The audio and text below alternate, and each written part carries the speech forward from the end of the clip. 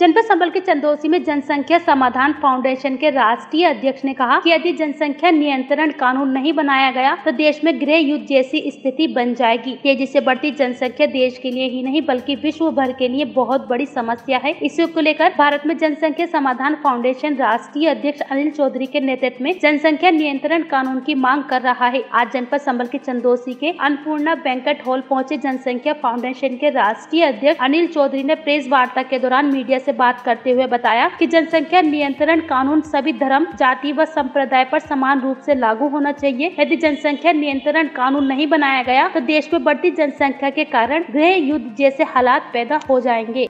जब हम ये कहते हैं कि देश में जाति, धर्म, क्षेत्र, भाषा से ऊपर उठते हुए जनसंख्या नियंत्रण कानून बने और वह सभी नागरिकों पर समान रूप से लागू हो तो इसमें कोई विशेष वर्ग नहीं छूटता। विशेष क्षेत्र नहीं छूटता, विशेष भाषा ही नहीं छूटता, कोई नहीं छूटने वाला है। इस कानून में जो भारत देश का नागरिक है, जो भारत का आधार कार्ड होल्ड करता है, जो भारत की नागरिकता होल्ड करता है, उसके ऊपर ये कानून लागू होगा और जो नहीं करता है, वो तो वैसे भी डिपोर्ट होने वाले हैं, उनकी चिंता। एक सवाल ये है कि चाहे सीए का मामला हो, चाहे एनआरसी का मामला हो, चाहे वैक्सीन का मामला हो, लगातार कानून बनते रहे, इसके विरोध होता रहे तो कोई खास प्लान तैयार किया गया हो, इस विशेष समुदाय की जहाँ तक विशेष प्लान की बात है, कानून बने हैं, उनका विरोध हुआ है।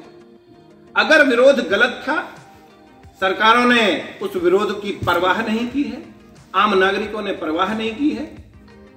जहाँ विरोध हुए हैं और स्वाभाविक हैं, वहाँ बातचीत भी हो रही है। कुछ विषय ऐसे होते हैं जो विरोध या लोगों के रोकने टोकने से उनका प्रभाव नहीं पड़ता।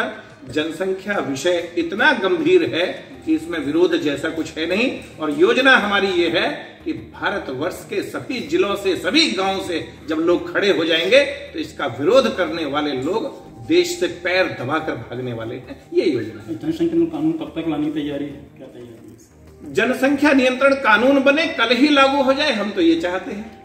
हमारा प्रयास भी यही आपका है। प्रयास जल्द से जल्द बने यह सरकार को देखना है। और संभवतः सरकार इस ओर सकारात्मक है ऐसा संकेत मिला सर ये सवाल मेरा और है। अभी उत्तराखंड में पीछे पंचायत चुनाव हुए थे। तो उसमें ये कानून लागू किया गया था वहाँ पर कि ये जिनके दो से अधिक बच्चे हैं उन्हें चुनाव से वंचित किया जाएगा। और चूँकि यहाँ पे यूपी में भी पंचायत चुनाव होने जा रहे हैं क्या ऐसा कुछ होने जा रहा है यूपी में भी होना चाहिए आपके साथ? यह सब सांकेतिक या कॉस्मेटिक रेमेडी है। ये कैंसर का इलाज नहीं है। ये तो कोई फोड़ा निकल आया और उस पर ऊपर से कोई मरहम लगा दें, उस पर फेयर एंड डबली लगा दें, उससे लाभ नहीं होने वाला देश भर में जितनी पंचायतें हैं, जितने ग्राम प्रधान हैं, एक गाँव में आठ, दस, बारह लोग चुनाव लड़ते हैं। गाँव में आठ हज़ार की आबादी है। वो आठ हज़ार की आबादी में सात हज़ार नौ सौ नब्बे लोग अधिक बच्चे पैदा करें और मात्र दस ना करें उससे क्या फ़र्क पड़ने वाला चुनाव लड़ने से रोकने वाला विषय ही नहीं है। चुनाव में वोट न कर सके ऐसा देश के डेढ़ सौ करोड़ लोगों पे ये कानून लागू होना चाहिए ये हमारी वोटिंग नहीं होनी चाहिए। वोटिंग राइट समाप्त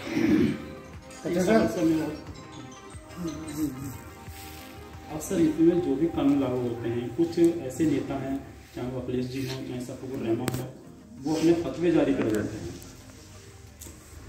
तो इन लोगों को कोई पनिशमेंट या इस तरीके का ये फतवे जारी ना हो सके इस तरीके के क्योंकि ये देश के विकास में समाज के विकास में अक्सर आड़े आ जाते हैं। और ये कमेटी के लोग जो हैं उन फतवों को फॉलो करते हैं। वे कहते हैं देश में में फतवे आए नेता विरोध के नाम पे विरोध करें मैं तो ये कहूँगा कि जो लोग, चाहे वो ओवैसी हो, कोई कम अक्ल हो, कोई सफीक हो, अभी असम के कोई सांसद थे, उन्होंने भी इस विषय पे जब सरसंघ चालक जी ने पिछले वर्ष इस विषय पे मुरादाबाद में कुछ कहा था तो मैं उस टीवी चैनल पे डिबेट में था तो वहाँ बात आई थी बदरुद्दीन, कोई सांसद है, असम का, उसने भी कुछ कहा था। ये सब लोग अपने लोगों को बेवकूफ़ बनाना चाहते हैं, उनकी वोट हासिल करना चाहते हैं, जबकि वो उन्हें गरीबी में ढकेले रहना चाहते हैं। वो चाहते हैं ये जाहिल बने रहे, गंवार बने रहे दस दस बारह बारह बच्चे पैदा करें, ताकि वो उनके पीछे अंध, अंधे होकर चलते रहें। वो ज़िंदगी भर पंक्चर लगाएँ। वो ज़िंदगी भर वो उस कीड़े मकोड़े नरक की ज़िंदगी में रहें। इसलिए वो उनके हितैषी नहीं है। हम सब लोग भारत के जो आज सत्ता है, हम उनसे आग्रह करेंगे, संभवतः ऐसा कर भी रहे हो। कि वो सभी लोगों को एक साथ सबका जीवन स्तर ऊपर उठाए। कोई कीड़े मकोड़े की तरह हम देश भर में भीड़ न इकट्ठी कर दो से अधिक बच्चे नहीं होंगे, वो सभी के लिए लाभकारी स्थिति है। एक मेरा